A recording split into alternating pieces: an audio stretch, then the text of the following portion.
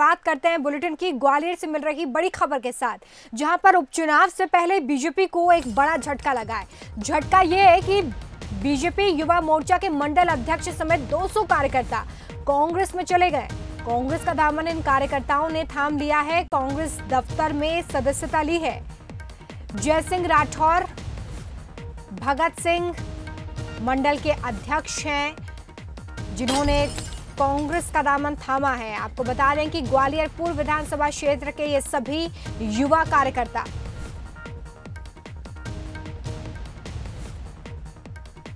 BJP से पिछले दिनों भी आपने देखा कि काफ़ी लोग बीजेपी छोड़कर कांग्रेस में शामिल हुए हैं और आगे भी बीजेपी से बहुत से लोग जो बिना लालसा के, बिना पद के, बिना किसी उसके अभिलाषा के हमारे साथ आ रहे हैं। सिर्फ़ पार्टी के साथ जुड़ने के लिए, पार्टी के सिद्धांतों को, कांग्रेस के विचारों के साथ जुड़ना चाहते हैं, कांग्रेस के साथ जुड़ना चाहते हैं, हम उनका स्वागत करते हैं। और आज जो साथी जुड़ रहे हैं, उनका भी मैं स्वागत और अभिनंदन करता हूँ।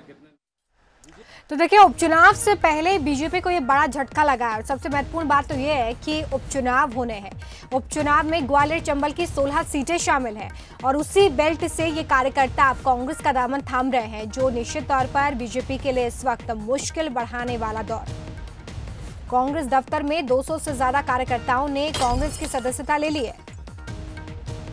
उपचुनाव से पहले बीजेपी के लिए मुश्किलें बढ़ती हुई बीजेपी युवा मोर्चा के मंडल अध्यक्ष समेत 200 कार्यकर्ताओं ने कांग्रेस की सदस्यता ले ली है। कांग्रेस के खेमे में शामिल हो गए हैं। सबसे चिंता वाली बात यह है कि ग्वालियर और चंबल की 16 सीटें हैं जहाँ पर उपचुनाव होना है और इन चुनावों में बीजेपी का जीतना काफ़ी ज़रूरी ताकि सरकार स्थिर रह सके। कांग्रेस की भी जुगत है कि वो इन उपचुनावों में 24 सीटों पर जीत दर्ज करे।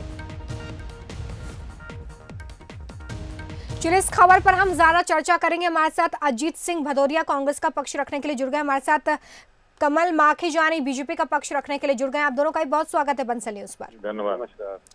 कमल माखी जानी जी सबसे पहले आप ही के पास आ रही हूँ सर। ये तो बड़ा झटका हो गया क्योंकि ग्वालियर चंबल की तो 16 सीटें इसमें शामिल हैं उपचुनाव में और ऐसे में अगर कार्यकर्ता दामन छोड़कर जाएँगे तो जीत के लिए काफ़ी मशक्कत करनी पड़ेगी।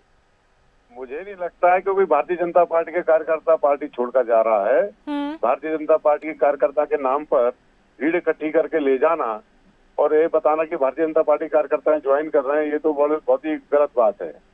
कोई भी ऐसा कार्यकर्ता जो अपनी रसीद दिखा दे हमको अपनी संस्था की उस भीड़ में से।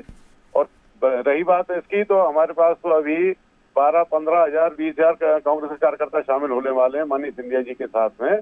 वो तो कोरोना का भी पीरियड स्वास्थ्य में निकल गया। अभी तक वो ज्वाइन हो गए होते। ठीक है।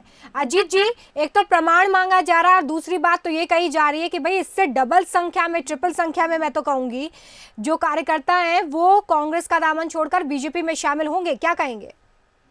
देखिए पहले तो आदरणीय अध्यक्ष जी ये बता दें कि ये जो मंडल अध्यक्ष हैं क्या ये मंडल अध्यक्ष नहीं है? आपके भारतीय जनता युवा मोर्चा के सबसे पहले तो वही इस चीज़ को क्लियर कर दें और दूसरा मेरे को बहुत हास्यास्पद लग रहा है रोमिता जी अपने आप को विश्व की सबसे बड़ी पार्टी कहने वाले जी। उस चीज़ पे डिपेंड कर रहे हैं कि किसके साथ कौन लोग अब हमारे यहाँ शामिल होने वाले हैं हम्म। मतलब कब आशा में हैं कि दूसरी पार्टी के या दूसरे लोग हमारे यहाँ शामिल हों हम्म। तब हमारी पार्टी वो एक तरफ़ अपने को विश्व की सबसे बड़ी पार्टी कहते हैं। हम्म। यहाँ तक स्थिति है रोमिता जी आदरणीय अध्यक्ष जी खुद जानते हैं खुद भुक्त भोगी है मेरी संवेदना है इनके साथ कमल माकी जानी के साथ कि जब इनको अध्यक्ष पद पे नियुक्त किया गया था तब कितना इन बेचारे सज्जन व्यक्ति का किन किन लोगों ने विरोध किया था।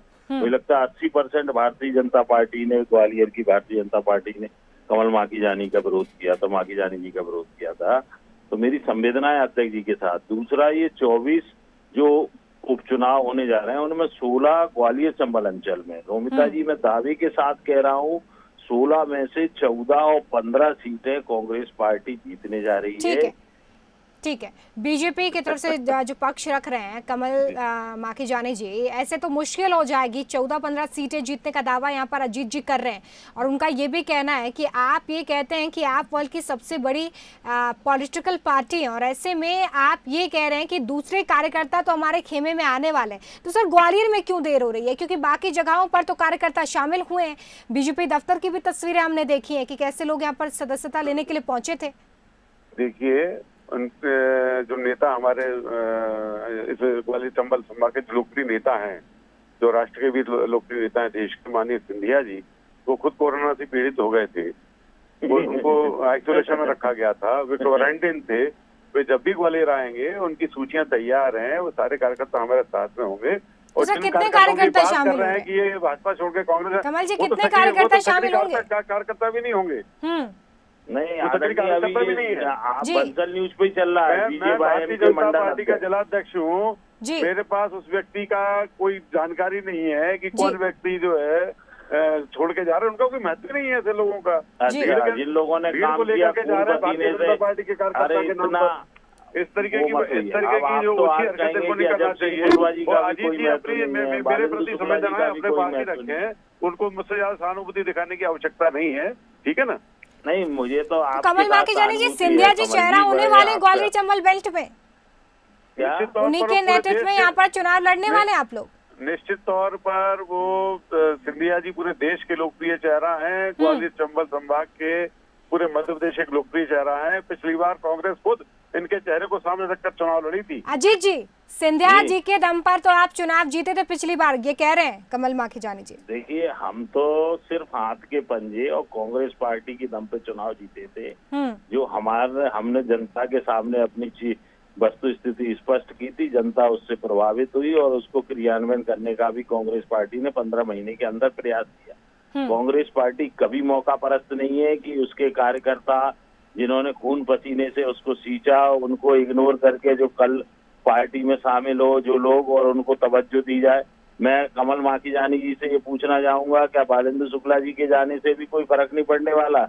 अजब सिंह कुशवाहा जी के जाने से भी कोई फ़र्क नहीं पड़ने वाला? ऐसे अनेकों नाम कमल जी आने वाले समय में आप देखना। आप किन को कहेंगे कि वाले हैं। आप रुक तो जाइए दस पंद्रह दिन आप सब्र रखिए। थोड़ा सा आप धैर्य रखिए। वो जब हमारे साथ जुड़ेंगे लोग तब आप हाँ। आप उसका पछतावा करेंगे। अरे हमें क्या पछतावा? हमारी तो हमारे साथ तो जितना बड़ा धोखा हुआ है जितनी बड़ी गद्दारी उससे बड़ी अब क्या होगी? आप बताइए ना।